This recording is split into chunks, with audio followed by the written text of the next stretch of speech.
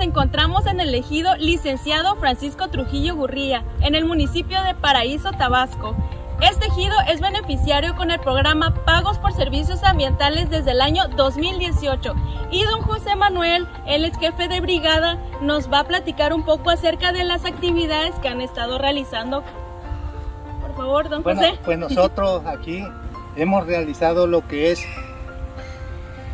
estamos vigilando lo que son las plagas de lo, que hay en, lo- en los árboles y también estamos vigilando lo que es este, la cacería de, de animales que también la, la, la- la pescan otros, pero pues nosotros ahí estamos para impedirse.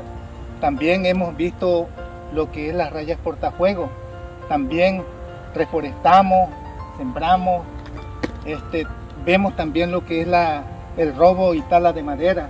Estamos vigilando constantemente para que, nuestros hijos se conserven bien. En el 2018 nosotros empezamos con el programa.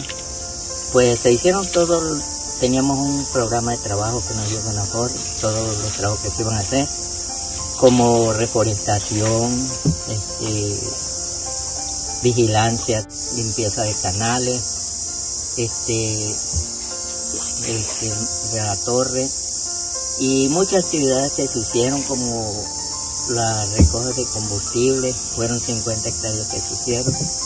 También reforestamos acá en el Pajonal 20 Dos hectáreas. 22 hectáreas.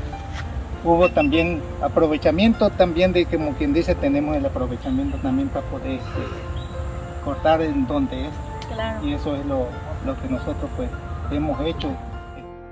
De los recursos que fueron quedando, nosotros hicimos una casa ideal, hicimos una cerca, hicimos esa palapa aquí y siempre hemos tenido actividades gracias a los apoyos de CONAFOR.